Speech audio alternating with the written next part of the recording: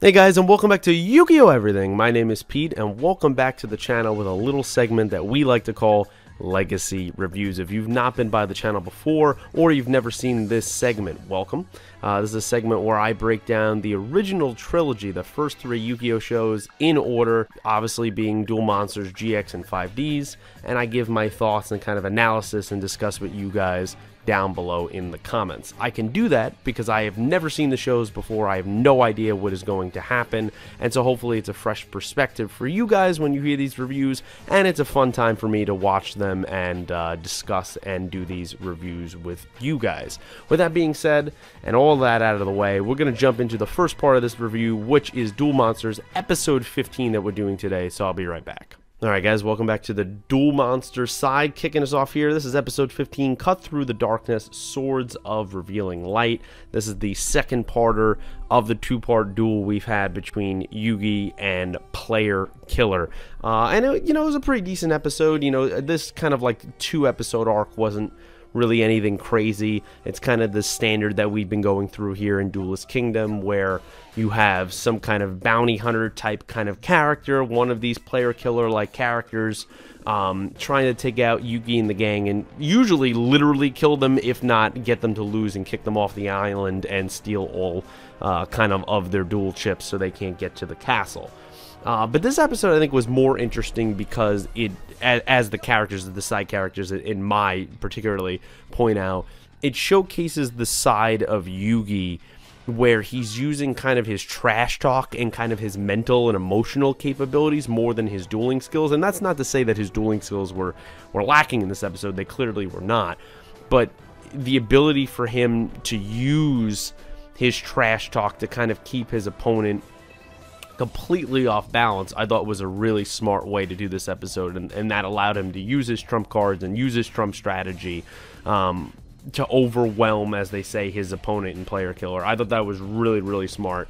Him to continually call him a coward throughout the duel, get him to make kind of silly moves where yes, I I'm getting used to it. I've listened to you guys. I've listened to Dylan of the of the kind of Duelist Kingdom logic, um, where things kind of don't make sense, especially when I'm watching the other two shows and sevens simultaneously. You're used to the game working in certain ways. You have to understand that you know the game, the game wasn't really there wasn't really a rule book on how any of this worked when they had these episodes premiering. So when when you have the strategy of him putting all his monsters in defense position and he kind of has them underneath his castle and he has this basically impenetrable wall with that light card that he uses that upped all the defense points and creates a shield around it and all that stuff. None of that I don't think would actually happen in the game and you could correct me if I'm wrong down below obviously as you guys always educate me because um, I'm not really into the TCG side of it, but I feel like that's not something that normally happens uh, in a lot of these regular duels, and you see that a lot here. But that being said, in the, the logic and the universe of the show here in Duel Monsters, I really like that he was able to, you know, keep saying to him, hey, hey, big guy. That was really his, his thing. That and Coward were the two big things that he kept um, kind of piercing into Player Killer and allowing him to almost retreat into himself, which we, we see, and I'll talk about that a little bit, but doubt every move that he made, Player Killer did. He doubted every move because Yugi kept him that off balance. And it was, it had me wondering throughout the episode, I was just like, hey, is Yugi, is he actually have a plan here?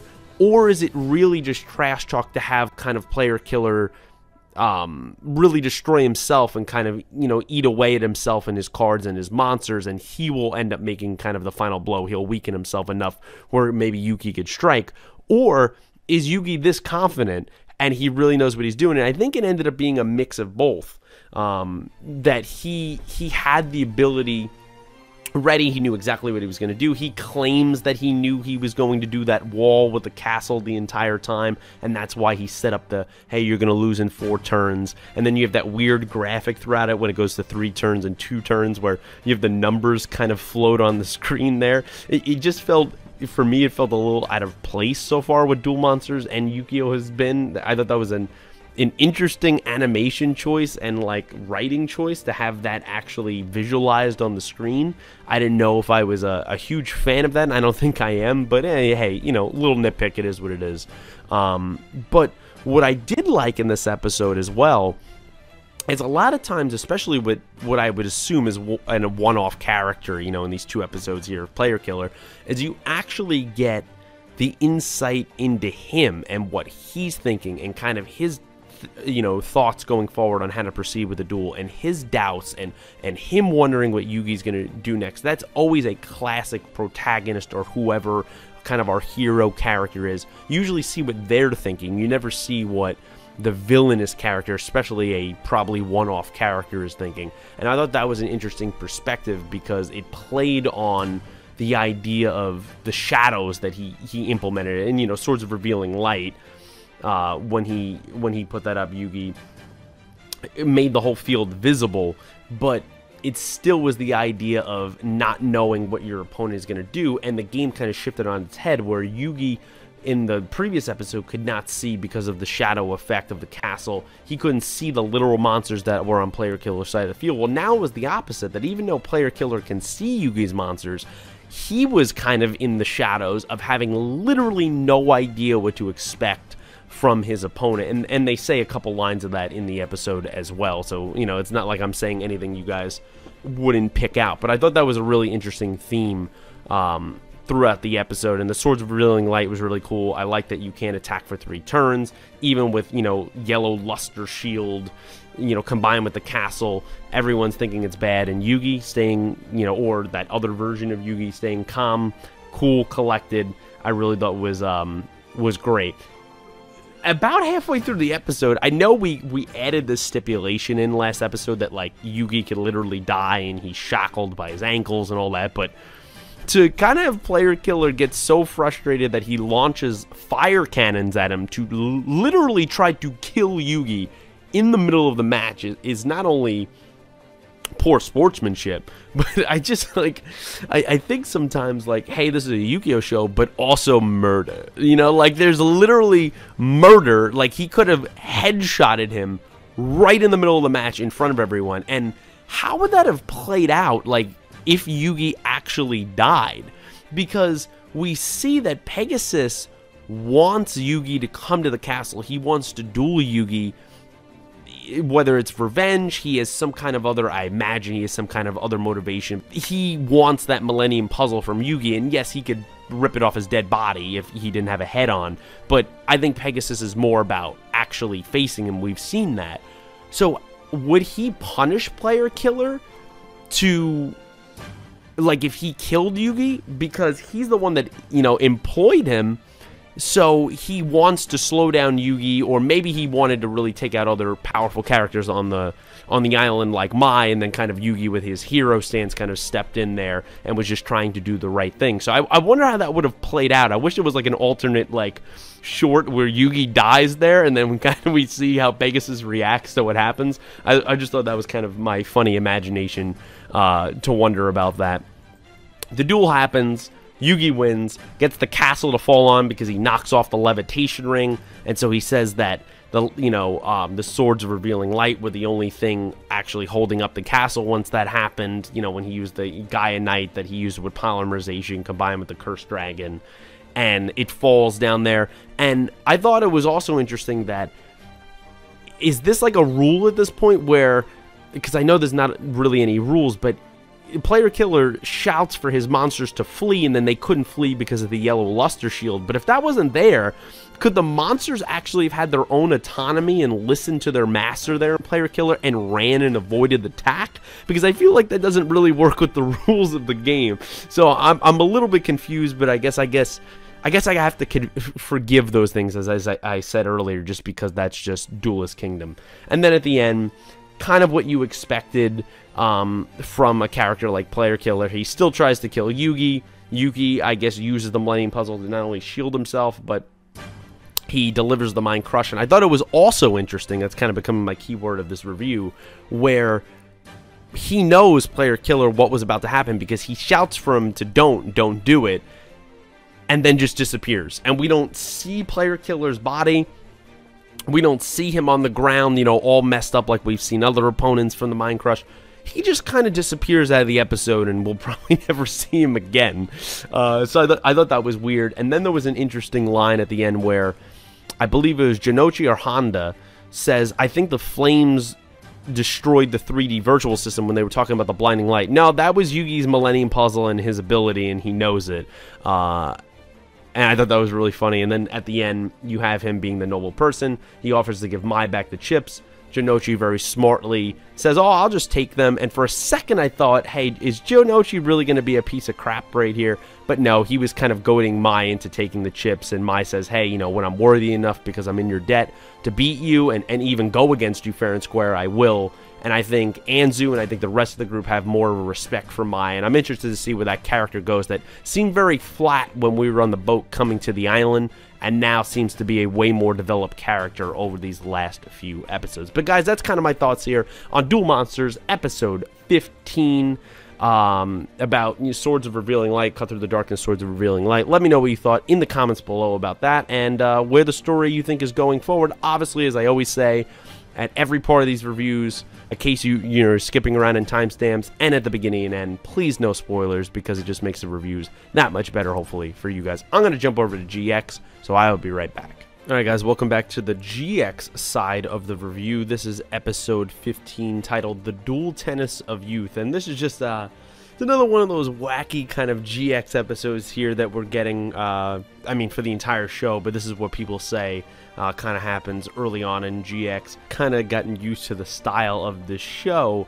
uh, and, I, and I still I still like it, but I am waiting kind of for the plot to pick up a little bit more. So there's not much to cover really in this review of episode 15. I guess we could say this is a, um, or I could say this is a near and dear episode to you know my heart and and Dylan and Calibros alike because we also used to play back in the day. Hey, uh, makes me sound so old. We used to play back in the day some uh, varsity tennis and uh, now we have an entire episode about tennis. We had, you know, little snippets of baseball in the previous uh, episode, what was last two, two, three episodes ago, and now we get this one. So really, the episode starts off um, with Judai doing kind of what he doesn't like doing, which I mean, honestly, he doesn't like doing anything for the most part besides hanging out with his friends and dueling. That that's pretty much Judai's personality so far. But even though we have seen he has been um, decently athletic as the show has um, progressed and has it started off here through the first 15 episodes. But he's playing tennis. Some hijinks happen where, you know, he kind of goes up for an overhead. He misses it terribly. It's going to hit Asuka in the face, and this uh, guy that we'll call President Peppy, as they call him throughout the episode. You know, his, his father's a big deal in some kind of car dealership, motors or whatever. He's the president of the tennis duel club, the tennis club, and um, he kind of saves. And at first, he's really playing it cool, the president is, and then when he sees it's Asuka, you know, the legendary of Obelisk Blue Asuka, you know, and how gorgeous he sees her to be, he kind of gets flustered and a little bit off his game, even though Asuka's friends think he is very attractive. Um, when all of this happens, he redirects the ball, um, the tennis ball, to hit, of course, Kronos right in the eye, which is just the hijinks so far in the show that Kronos is always in some way, shape, or form. He got hit with the, in the face with the baseball. He's been humiliated, you know, in front of the entire school by Judai, and now he's hit in the face by a tennis ball. And so he always takes that out on the dropout boy, as he calls Judai, even though the you know the nurse there, the other instructor, was like, "Hey, it wasn't. He didn't do this deliberately, and it wasn't even it wasn't even him who hit you, and he still has to pay the price. So the price he pays is basically just having to play with the president and really just having to rally 50 balls, 100 balls, whatever it is, and, and really wear him out physically and kind of drain him of all his stamina as a punishment. As he says, you know, you, you can't just forgive him because that would be a half measure, and he makes a terrible pun with that. Uh, and then when Asuka comes to the court, she kind of steps on and ignores the president and goes right to Judai. And we've seen this relationship that they've been building so far in the show where she's she still looks down on Judai, I think, as a, as you know, Slifer Red, but also thinks he's an idiot. I mean, it outright says that in this episode, but she respects him in his ability to communicate with people and how personable he can be, but also his dueling skills are um, have been pretty well demonstrated so far through the show. And when she comes over to talk about a spotting of Manjome, that little innocent conversation that could be about a serious topic really pisses the, the president of the tennis club off. He takes it as the two of them are romantically involved in some way and since he has a crush on her he challenges Judai to a duel and basically gives these outrageous this outrageous um, kind of reward that whoever wins is going to be Asuka's fiance which she in no way shape or form agreed to whatsoever. It's absolutely ridiculous but I guess that's kind of how um, jealous he was and wanted to be so controlling and also so in love he was. And so throughout the episode, you get a lot of interesting, I think, like cool little animations. There's the one shot where like he has like his eyes turn red and his whole body is supposed to be surrounded by fire because that's how aggravated and you know enraged with jealousy is in those moments. So I like those little anime um, touches in, in, many shows, and in, in particularly here in, in these Yu-Gi-Oh trilogy that we have been covering when they do those uh, kind of little outrageous, little cartoony but hijinks, but they work for the story and really show the expression of what the inner feelings of those characters are. The duel itself wasn't really that interesting, to be honest. I mean, he, Judai, I think, and the rest of the characters in this episode, with, with Sho watching along with Asuka's crew, um, were very meta. They were very self aware of what was going on uh, and really stating it to the audience in this episode. And one of the lines Judai says, Judai says um, in this, is he said, "Oh, that's pretty much all you do, huh?" In, reference to President Peppy's kind of dueling style, where he just has all these tennis themed kind of cards and he's always trying to attack directly with usually a spell card to Judai. He's not really, he only really brings out one major, the big server was really his only major monster that happened on the field. Uh, the duel goes on, you know, they both get down to a thousand life points, which at first worked in, you know, the president's favor, and then Judai is able to turn around the duel, which is not really surprising whatsoever. And you have all your little te tennis references of, of deuces and serving and aces, and you have your overheads and who's has advantage here and advantage there, you know, advantage in, advantage out, uh, when you usually have a deuce when you're 40-40 in a game. Even when the president is up, he says 15 love, 30 love. So, so they definitely show kind of their love for tennis in the in this episode, which is something I always greatly appreciate seeing kind of an underrated sport in tennis in the medium. Judai ends up winning the duel where he's able to use triple feather shot, which was kind of worked out because he got depolymerization, so he got three monsters onto the field, and that allowed him to get around uh, the president's kind of deuce spell card, which was only allowing him to attack once with one monster. He got around that, was able to destroy Big Server, and then was able to destroy the president. And advantage goes to Judai. And it all kind of stemmed from and backfired from the president earlier when he allowed um, kind of on his like gamble technique that he was using Judai to draw a card, and that ended up being the card uh, that Judai drew, and ended up being the president's downfall. So it kind of ends. The president, you know, kind of runs away with his tail between his legs and starts crying, which was not a good look for an obelisk blue or a duelist or any hopes of looking good in front of Asuka or Judai for that matter.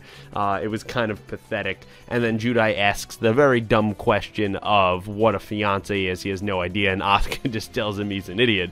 And then it comes kind of this last shot. I saw some people after I watched the episode agreed in the comments here on Crunchyroll that like the president is over the cliffside with the sunset and he's screaming about he's hate dueling and you know he's crying now and he seems like he's a broken person and a broken man there was a brief second where i was like is this show gonna go there and this man's literally gonna jump off the cliff and you know take his own life for losing one duel but thankfully thankfully did not go that dark um, that would have been really twisted, especially 15 episodes in. But yeah, guys, that's that's pretty much uh, it for GX this week. I'm gonna finish up with the 5D side of the review, so I'll be right back. Alright guys, and welcome back to the final part of the review, the 5Ds part, episode 15, and this is a mouthful.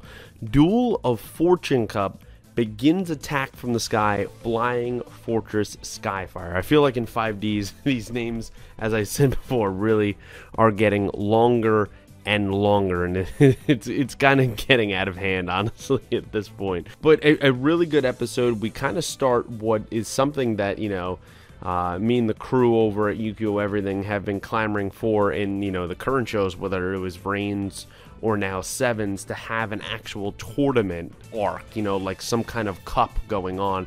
And that's exactly what we are getting here uh, in 5Ds as I am watching and reviewing it for all of you. So, you know, kind of starts off where, you know, Rex Godwin, we know he's put together everything here. We, we know that, uh, you know, Lua was to um, kind of go in the place of his sister Luca, even though she's the one that technically got invited. And we'll talk more about that in a second. But, you know, the king was, he starts off the episode, he's, you know, extravagant as always, and, and who's going to challenge him. And we see that eight people are the ones who end up um, kind of joining the tournament. Uh, Lua being the only one who's actually not supposed to be there. He kind of had a fun little moment there. It was it's fun pairing him pairing him with um, Yusei of how serious Yusei is of like he's wearing makeup Lua and then Yusei just going yeah you, you really you really shouldn't do that anymore. I guess and you know outright saying that he doesn't really look good with it but we have this man Bommer um, who becomes the uh, one that Lua ends up dueling later in the episode as they get selected for the first duel. And I actually thought because the whole crowd is reacting at the beginning of the episode about Yusei's mark and you know we know how they look down on people of satellite especially in Neo Domino City and for him to actually come out and say that there's nothing to be ashamed of that and, and talk about equality, it probably in the end was just all for show because he he's clearly working with Rex Godwin. But in that moment, I really thought he was going to trash Yusei and actually supporting him and talking about equality and having a moving speech was really fan, uh, kind of moving and fantastic moment that I thought that really the show just continues to do a great job of. It's just unfortunate that it was more than likely clearly all for show and all part of Godwin's plan, as I feel like everything is.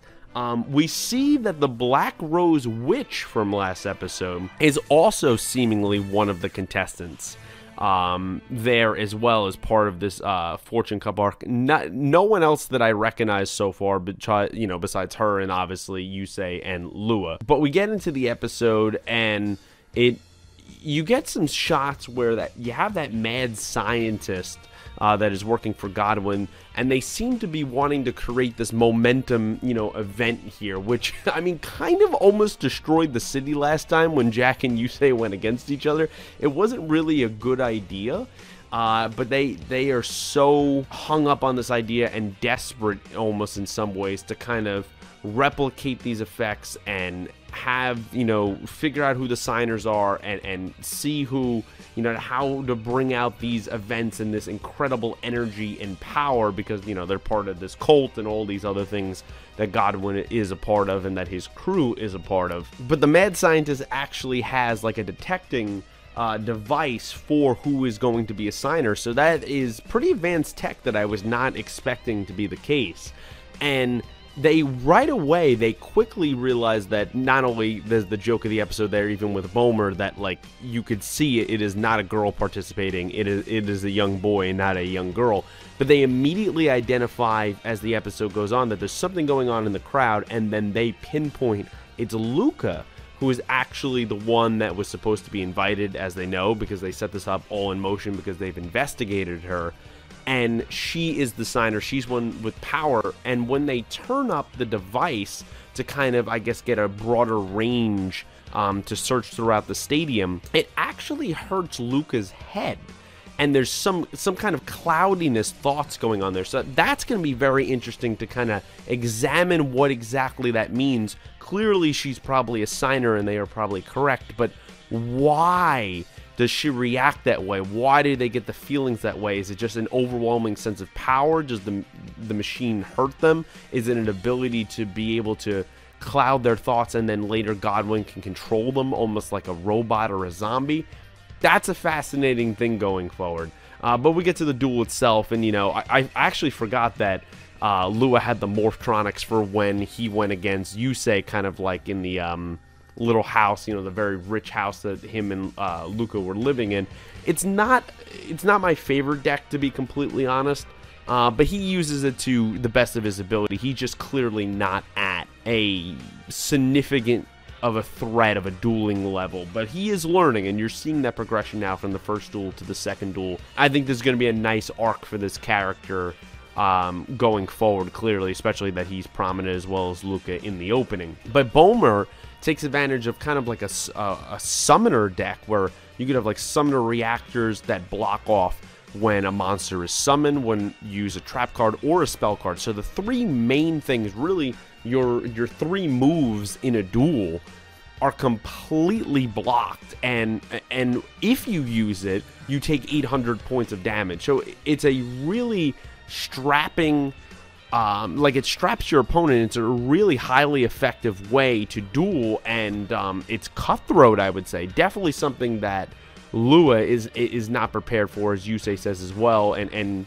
clearly the crowd um, of Luca watching on and everyone else and Grandpa, they could see that Lua is easily becoming overwhelmed as the duel continues. But he puts up his best effort, and Bommer, uh, we see very early on that he clearly is a part of Godwin's team because he's been instructed to kind of anger and get to what he thought was supposed to be Luca, try to get her, but it ends up being Lua, obviously, kind of fired up in the moment, and that's supposed to bring out whatever this the signer energy or, or whatever they're looking for.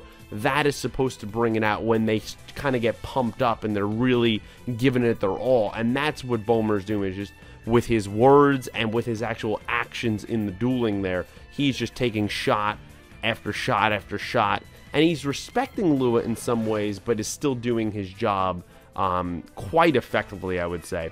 So Lua gets Gadget Cannon, uh, Gadget and Cannon on the field at the end of it. Had 2,900 attack points. He was able to boost it up. He looked like he was doing a good job there to maybe defeat Bommer, and then Bommer was able to block it. He summons his Flying Fortress Skyfire, which was the kind of the be-all end-all. Has 3,000 attack. It's a really actually cool animation scene, I believe. And kind of Bommer gives me a little bit of vibes of Bohman. I don't know if anyone else got that in some similar ways from look to the way he talks and even in some ways that he duels, even though I know they're completely different decks.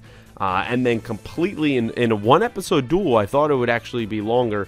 Completely nullifies Gadget and Cannon, completely wipes it off the field, and then uh, finishes Lua off, and, and that is the end of that. And then you see him meet up at the end uh, with Godwin and his crew. They identify Luca is the girl that they are looking for, uh, and that is the end of the episode. So, guys, that wraps up the 5D side of the review here, episode 15, and that wraps up this episode of Legacy Reviews. Thank you so much if you listened um, this far. If you only want to go to one specific show, the timestamps will always be down below in the description.